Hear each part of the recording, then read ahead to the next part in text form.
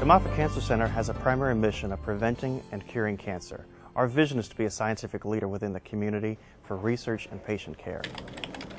As the manager for the Conferencing Technology Department, I get to oversee the conference room initiatives, the video conferencing portals, the web portals, as well as our video on demand services. We are all familiar with the YouTube style portals that are out there on the web. Moffitt has a desire to be a part of that solution, but control the content and drive people to our websites where the information can be reached for our patients and our staff. We then decided to uh, explore the process of finding an appropriate vendor uh, to provide the solution for us.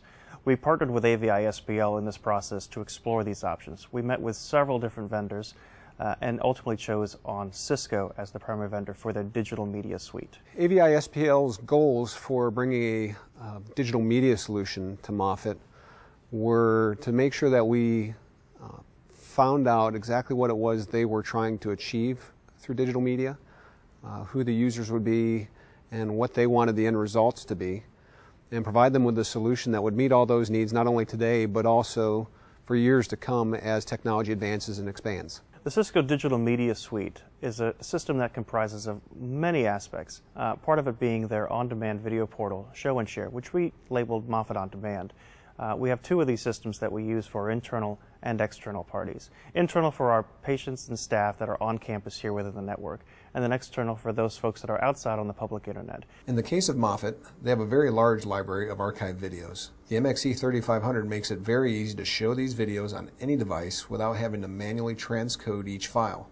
It frees up the audiovisual and IT staffs from the time-consuming and manual process of transcoding each video file.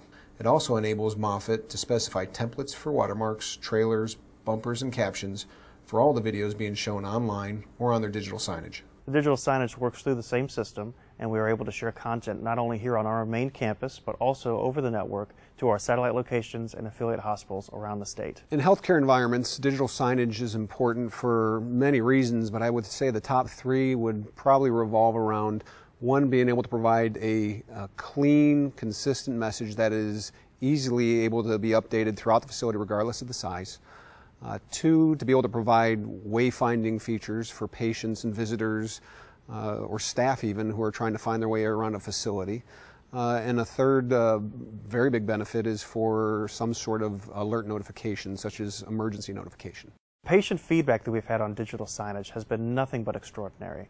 Uh, many of our patients have stated they have been hoping and waiting for this to happen at Moffitt for some time, and we're excited to be able to share this opportunity with them.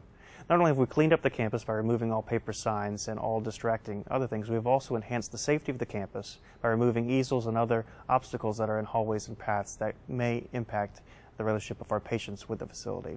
The approach we take here at AVI SPL with our clients uh, from the beginning is to give them a well-rounded solution uh, starting with a discovery phase. From the minute that uh, they express a desire or need, we want to sit down and really explore all of those desires and needs and find out everything from who the end user is going to be, what features and functions they would like to have, what is the experience they're looking to have out of the system, what potential growth uh, and reach do they want to get with this solution. Uh, once we've done that, then we can start to move into more of the educational phase and help them understand what the products will do.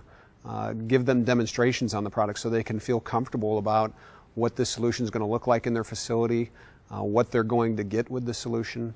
And then we work into a, a design approach and we put together a system, a solution, uh, provide them a, a, price that hopefully fits within their budget. And if not, we worked with them to find one that fits in their budget and still meets those needs.